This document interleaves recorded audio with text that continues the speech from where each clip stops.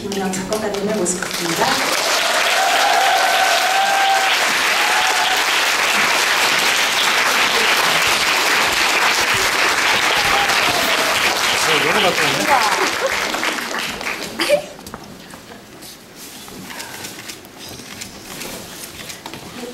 뭐 인사 말씀이라도 가볍게 해주시죠. 안녕하세요. 안녕하세요. 작곡가 아이고. 김정입니다. 안녕하세요 윤희석입니다 반갑습니다 예. 안녕하세요. 곽선영입니다. 안녕하세요. 이규영입니다. 네, 성조은 연출님, 저희 짧은 공연 기간 동안에 굉장히 많은 인터뷰와 또 프레스콜, 저번 관객과의 대화를 통해서 연출님의 주옥 같은 멘트들이 많이 화제가 되고 있어요. 네, 오늘도 기대하도록 하겠습니다. 그럼 바로 질문 들어갈게요. 사전 질문 중 첫 번째 질문을 연출님께 드리도록 하겠습니다. 네. 질문 적어주신 분이 쓰신 내용 그대로 읽어드릴게요. 전캐를 찍었어요. 배우별로도 아니고 페어별로도 감정 노선이 엄청 틀립니다. 저를 회전문 돌게 하시려는 연출님의 고도의 노림수인 건가요? 라고 질문해 주셨습니다. 감사합니다. 아, 어, 어떻게 동선이 많이 달, 다른 이유 여쭤보신 거죠? 네, 배우별로도 아. 틀리지만 페어별로도 많이 틀려요. 아, 예, 예, 예. 그, 뭐, 이렇게 그런 의도를 가진 건 아니고요. 그, 워낙 다르셔가지고, 왜, 지난번, 엊그제 프레스콜 때도 말씀드렸는데, 윤신과 의상도 다르잖아요. 또 몸매가 달라서. 얘기를 했었고, 네, 우리 경수 씨랑 의석 형님이랑도 굉장히 또 연기 결이 다르시고, 규영이랑 또 정민 씨도 굉장히 또 다리 길이도 다르고, 연출로서. 미안해. 그래서 어, 그뭐 늘릴 수도 없고 그걸 어떻게 하나 연출로서 고민이 많았어요. 이만저만이 아니었는데 그래서 이제 연습을 페어별로 진행하다 보니까 도저히 각계는 이렇게 평균율을 만들기는 힘들겠더라고요. 그래서 오히려 어, 배우들의 특성에 맞게 또 페어별 특성에 맞게 어, 그렇게 짰더니 제가 볼 때도 정말 다른 공연이 매일 나오더라고요. 근데 그게 저도 관객 입장에서 재밌었고 어, 중간에는 생각했어요. 어 이러면은 또 한 번 더 오겠구나. 근데 처음부터 그 상황은 아닙니다. 네 그렇습니다. 네, 연출님 솔직한 답, 답변 너무 감사합니다. 네, 다음 김은영 작곡가님께 질문 드릴게요. 글루미데이의 넘버는 공연을 볼 때보다 집에 와서 더 기억이 남습니다. 왜 그럴까요? 공연을 볼 때는 마치 연극을 본 듯한 느낌이 들다가도 공연장을 나서면서부터 자꾸 멜로디를 흥얼거리게 된답니다. 음악에 뭔가 이런 마법을 숨겨놓으신 건 아닌가요?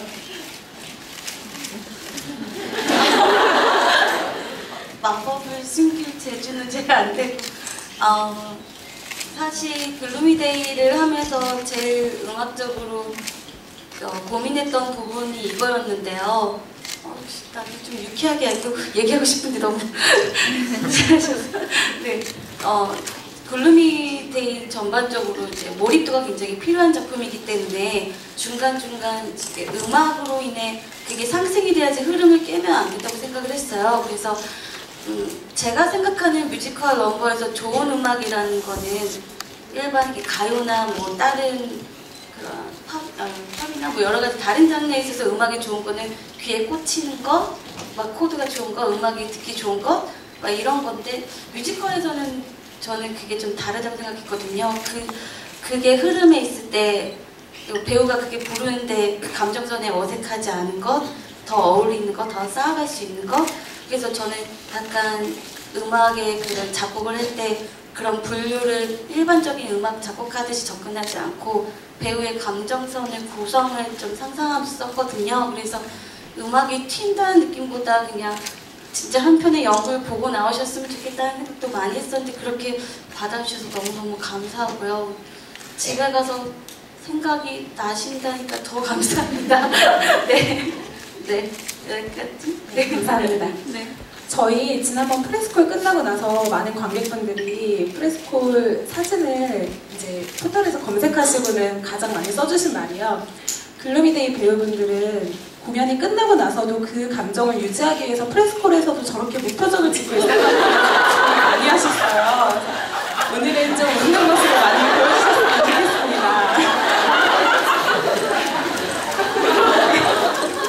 네, 다음 윤희석 배우님. 어, 나는 여러 차례 그로부터 탈출을 시도했지만 그는 언제나 날 제자리로 돌려놓았다. 이 대사가 저희 지문에 써있는 대사랑 정확히 일치하나요? 예?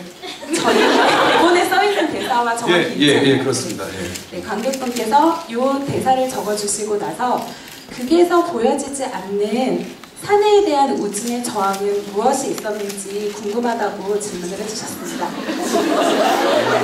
네. 그, 그 이제 연출님이 저번에 뭐 한번 인터뷰 때 말씀하신 것 같은데 아마 이 그 사의찬미 이 뮤지컬 에, 아, Gloomy Day의 이 양이 굉장히 방대해요. 그래서 뭐 그때 뭐 16부작 제가 지금 열심히 그 추천하고 있거든요. 미니 시리즈로 만들고. 어, 되게 재밌는 얘기들이 굉장히 많은데 여러분들이 아마 아마 보시다가 왜 사내가 저렇게 벌벌 떨고 갑작스럽게 이렇게 공포감을 느끼나. 근데 저희가 이렇게 같이 공부 스터디하면서 했던 그 subtext가 있거든요. 그래서 그 5장에서 제가 사내한테 그 총으로 위협을 당하잖아요. 어, 그러고 나서 그 안에 이제 또 다른 내용들이 뭐냐면 어, 사내를 왕따시키고 어, 신덕이와 함께 예, 그 고국 순회 공연을 가게 돼요. 가게 돼서 이제 공연을 하는데 그 무대 뒤에서 사내가 나타나요. 그래서 또 위협을 하게 돼갖고 사실 이게 그, 네, 네. 그 총으로 쏴 죽여요. 어, 죽이는데 죽이고 나서 그러고 나왔고 어, 다시 전라도로 내려왔는데 그 이제 고향으로 내려왔는데 아 고향인가 어디죠? 총으로 쏘는 건 전라도. 아, 전라, 전라. 그리고 다시 내려왔는데 어쨌든 다시 죽였다고 생각했는데 신덕이하고 한해가 다시 만나고 있는 거예요. 그래서 공포스러워서 도쿄로 제 와요.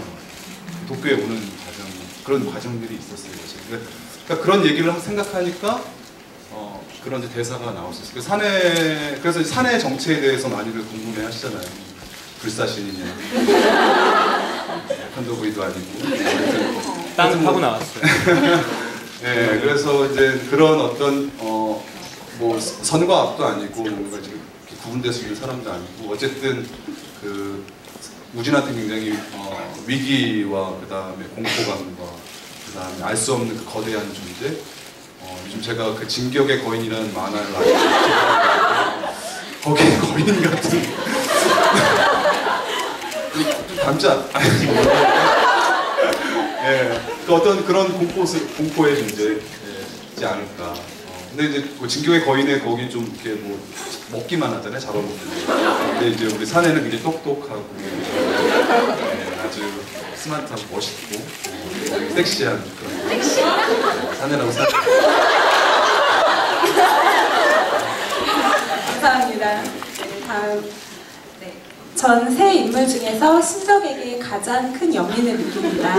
신덕의 집이 가난하다든지 탕려 취급을 받는다라는 내용이 대사로 나오긴 하는데 신덕에 관한 좀 더 에피소드가 많이 공연에 나왔으면 좋겠어요. 우선 오늘 곽선영 배우님께서 좀 들려주셨으면 좋겠습니다. 와, 보세요.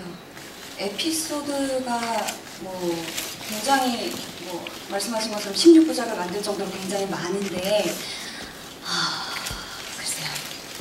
일단 윤심덕은 정통 성악을 하고 싶어 했지만 뭐 가난 때문에 대중음악을 선택할 수밖에 없었다는 게 이제 가장 큰 에피소드인 것 같고요. 그리고 스캔들, 뭐 자유 연애에 대해서 굉장히 궁금해하시는 분들도 계시던데 아, 굉장히 부자였던 어떤 남자와 혼담이 있었다가 혼담이 깨지자 바로 스캔들로 변해버리고 또 그 당시 또 거부였다 거부들하고만 이렇게 스캔들이 났더라고요.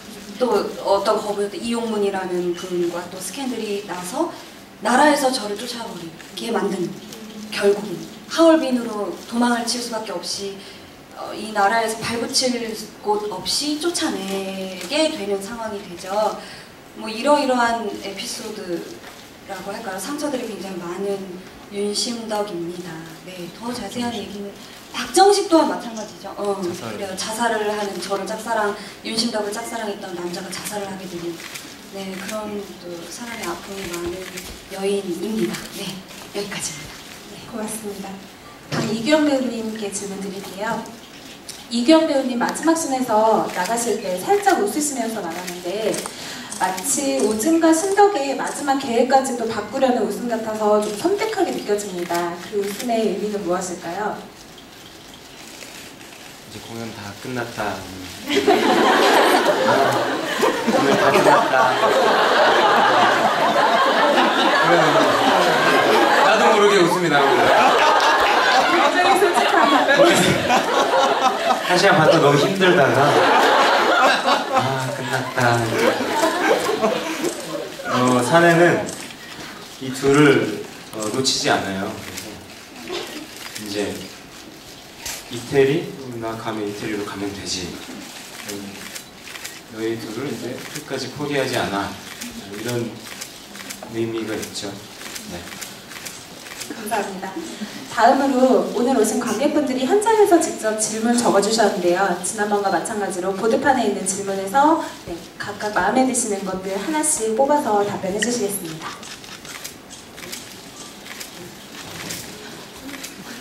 보드판 들어드릴게요. 네, 뽑아주세요.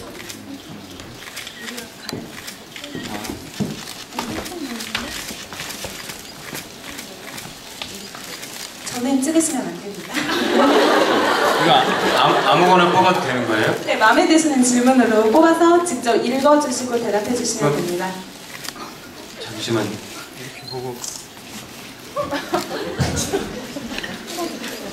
1인당 한 명씩 아, 네네네. 1인당 한 명씩.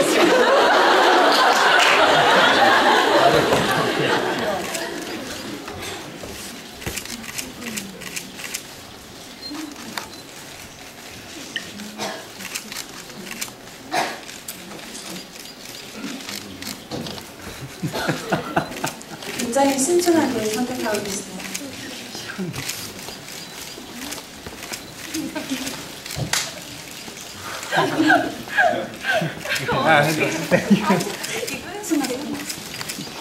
의상 디자이너 분이 안 계시니까 그냥 안 보고 그냥 뽑을까? 어, 안 보고 그게 나을 것 같아 남의 질문 남의 질문? 상관없이? 네?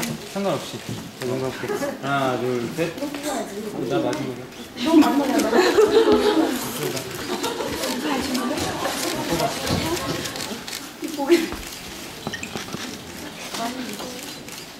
유.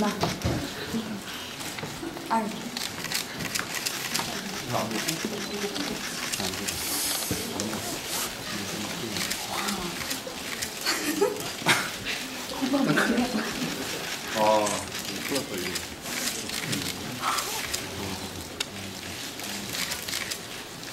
네, 연출님과 작곡가님께서 신조연 기에서 선택하시는 동안 이규영 배우님 먼저 뽑으신 거 읽어주시고 답변 부탁드릴게요. 곽선영 배우님 신덕의 자유연애 어떻게 생각하시나요? 아, 막 나온 것 같아요. 자유 연애가 어, 저는 굉장히 고지식해서 그런지 모르겠지만 옳지는 않다고 생각해요. 신덕의 자유 연애를 자유 연애주의자였던 것은 어떤 뭐 이유가 있었겠죠. 그 여인이 그렇게 되기까지는 이유가 있었다고 생각합니다. 하지만 저 개인적인 박선영의 생각은 자유 연애보다는 그냥 예쁘게 한 사람과 100년 가약을 맺고 오래오래 행복하게 사는 게 맞다고 생각해요. 그렇습니다. 다음 제가 뽑은 질문은 재공연 하나요? 지금 배우들 다 다시 보고 싶어요. 아이, 잘 뽑았네, 잘 뽑았어. 네, 이거는 제가 대답을 저도 잘 모르겠어요. 어떻게 되는 건지. 대표님 어디 계세요? 하지만 뭐 저희도 다 같이 다시 네. 만나서 하고 싶습니다 정말. 그렇습니다. 네. 아, 김은영 작곡가님. 4분의 3박자 곡이 위주로 쓰이던데. 이유가 뭔가요? 누구시죠? 그, 어, 그 아무래도 그 4박 곡이 안정감이 좀 더 많기 때문에 3박 위주에 조금의 텐션을 더 주려고 3박 위주로 좀 전반적으로 깔았습니다. 어, 되게 전문적으로 들어주시는 관객분도 계셨네요. 어, 질문을 왜 그런 걸 뽑으셨어요? 본인 질문이 되면 어, 제가 대답하려고. 제가 어, 이 곡이 글루미데이의 레전드다라고 생각하는 넘버는 어, Gloomy Day는 어쩔 수 없이 사의찬미일 텐데요. 사의찬미는 대부분 생각하시니까는 그거는 저는 관객분들에게 패스하고 저한테서의 레전드는 이 극을 전반적으로 설명해주는 추- 프롤로그 죽음의 비밀을 오히려 레전드라고 삼고 있습니다. 네. 어, 이건 이제 중복되는 있는데 이제 좀 바로 잡아드리려고 의상 질문.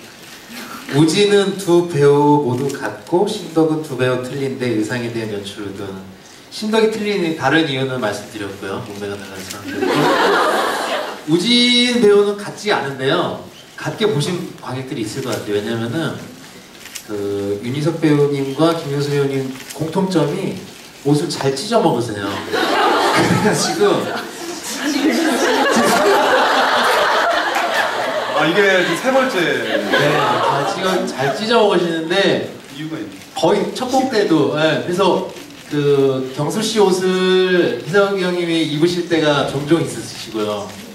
경수도 공연 중에 전에 한번 찢어서 그 경수 같은 경우는 허리만 좀 줄여달라는데 허벅지까지 줄여줘가지고 터졌대요. 그래서 중간에 또 이걸 입고 나온 적이 있고 그래서 그거는 바로 잡아드리고 또, 또 얘기하다 보니까 오늘도 깔끔히 치우셨더라고요. 지금 있었어요. 아 있었어? 아 오늘은 그 이유가 있었어요. 어. 그러니까 오늘 그 저번에 그 우리 제가 치워서 굉장히 기분 나빠하시는 우리 어, 이규영 배우님을 위해서 어, 저 괜찮아요. 아 괜찮아요? 네. 음. 근데 좀 새로운 트릭을 한번 써보고 싶었어요. 막공이라고 그래서 그래서 그 유- 신덕하고 사실은 그게 가짜잖아요. 총으로 쏴서 죽인 게. 그래서 말끔하게 깨끗이 다 치워놨다라고 상상을 하게 하고 암전 때 한번 뜯어갖고 저희가 한번 나봤어요. 봤어요. 네, 네. 네. 재미 괜찮았나요? 아, 이렇게 변명해.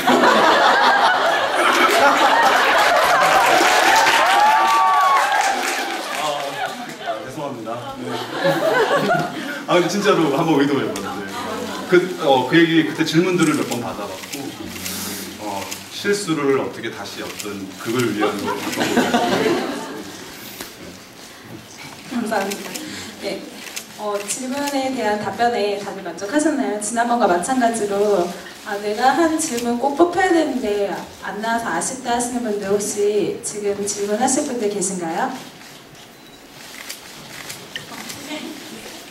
집에 가고 싶어 하시는 분.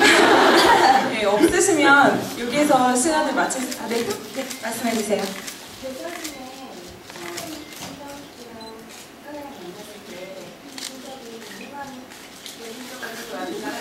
네.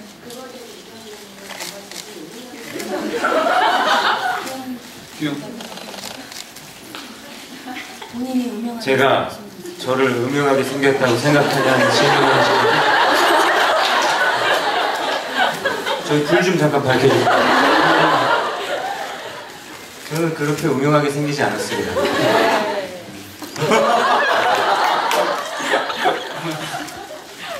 음흉한 역할 이번에 처음 해봐요. 제가 음흉한 역할 뭘 했었어요? 없는데.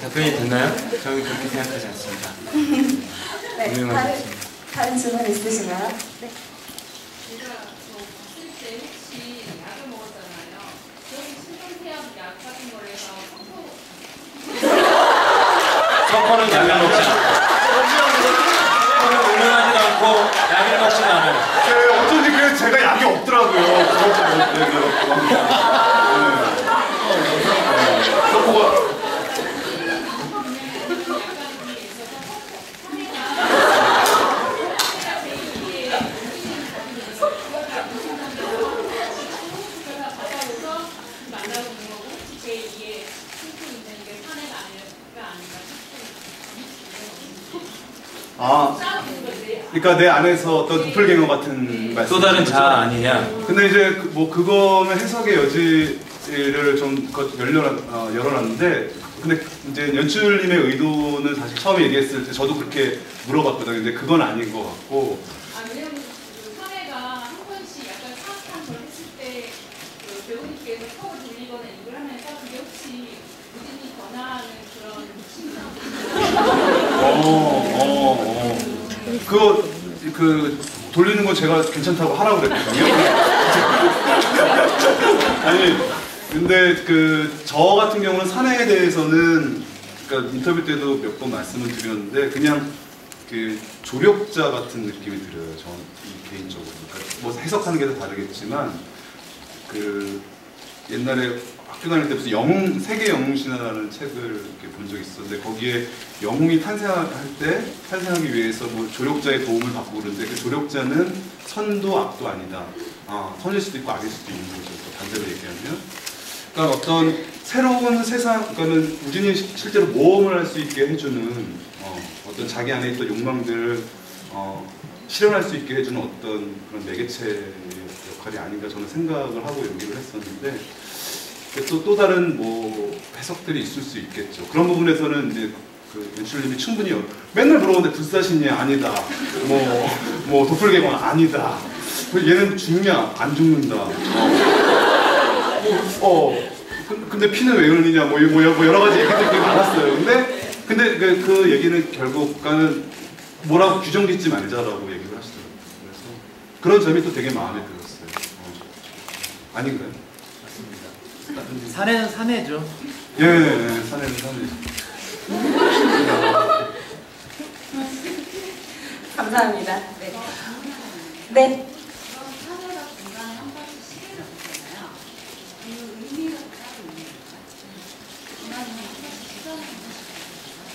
시간이 다가오는 걸 확인하는. 아, 시간이 다가오는 걸 확인하는. 하는 음, 사내는 어, 되게 철저히 계획에 따라 움직이는 그런 인물이라 이 시간에 이걸 해야 되고 그로 인해서 어떤 효과가 발생하고 그걸 또 활용해서 뭔가를 또 하고 그럼 몇 분 뒤쯤 이런 반응이 올 테고 예 그래서 시계를 확인하는 비즈니스가 그렇죠. 항상 지켜보고 있다는 느낌을 받을 거예요.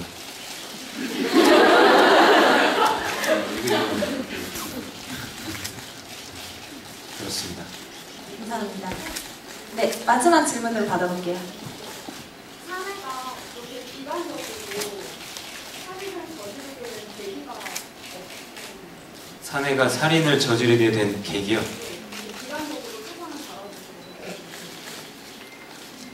사내는 그렇게 태어났어요. 어, 사실 이거에 대해서 고민을 진짜 많이 했는데, 얘가 사람이냐, 아니냐, 거의 거인이냐, 아니냐. 응? 되게 연습 때도 뭐 짧, 짧지만 여러 가지를 시도해봤고 진짜 그냥 사람으로서의 그 사내의, 사내의 전사를 만들어서도 연기를 해봤고 또 연출님이 뭔가 던져주신 원래 그렇게 오랜 시간을 존재해온 어떠한 말 그대로 그런 존재다. 어? 이건 어떻게 보면은 뭔가 말로 설, 설명할 수 없는 부분이고 사실 우리도 운명이란 걸 믿는 사람이 있고 운명을 안 믿고 운명을 스스로 개척하는 거야 라고 말하는 사람이 있다면은 그 운명을 믿는 사람한테는 그 운명이 어떻게 다가올지 응?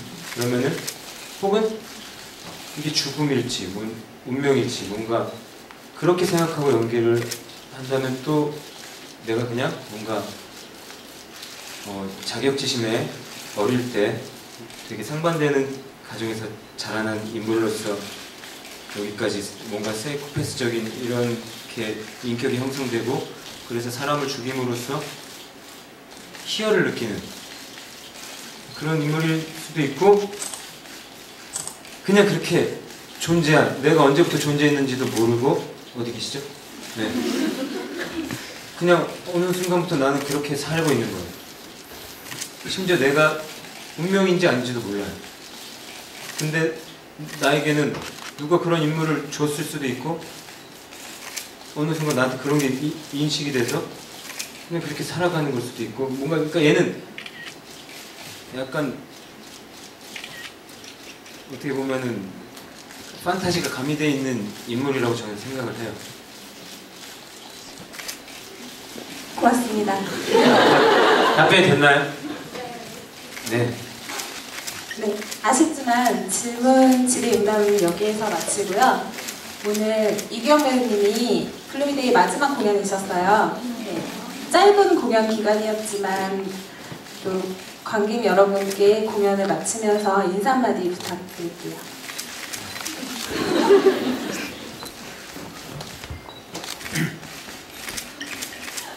아, 이렇게 좀 관심을 받을 줄 저희는 정말 몰랐어요. 정말로 처음에 여기 대표님께서 원래 친분이 있어서 뭐 쇼케이스 하나 하는데 같이 하자 그 대본을 툭 던져줬어요. 툭 받았죠. 읽었는데 너무 재밌는 거예요. 물론 되게 뭐 빈틈이 있었지만 일단 다 떠나서 그냥 몰입해서 탁 그냥 바로 바로 넘어가더라고요. 그러면 그, 그 공연을 하고 싶은 거거든요. 배우로서 욕심이 나는. 그리고 저는 그걸 봤을 때 사내가 하고 싶었고 우진도 정말 매력적이지만 뭐랄까 좀 더 이런 캐릭터를 해보고 싶은 욕심이 있었어요. 근데 어느 생각 갑자기 우리들에게 대표님 계시면 잘 들어주세요. 갑자기 이 점점 커진 거예요. 근데 이렇게 너무 많은 사랑을 관심을 주셔가지고 너무 감사할 따름입니다. 정말 이게 저희는 다들 본 공연을 올리고 싶어하고 회사에서도 마찬, 마찬가지 입장이고 그래서 더 의견을 수렴해서 더 좋은 공연을 언제가 될지 모르지만 저희가 반드시 올릴 테니까 그때까지 저희 Gloomy Day 잊지 말아주시고 계속 관심 가져주시고 진짜 그냥 고맙습니다. 네.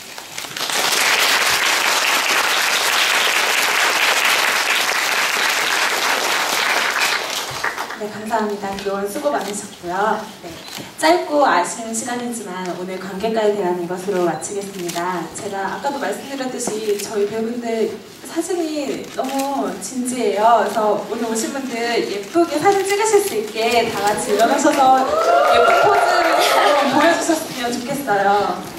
네, 바지는 찍지 말고.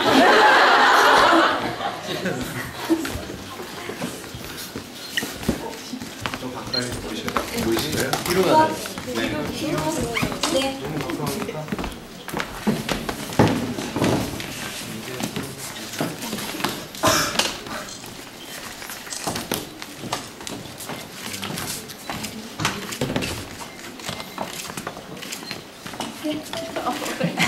이렇게 쓰면 되나? 네, 이렇게.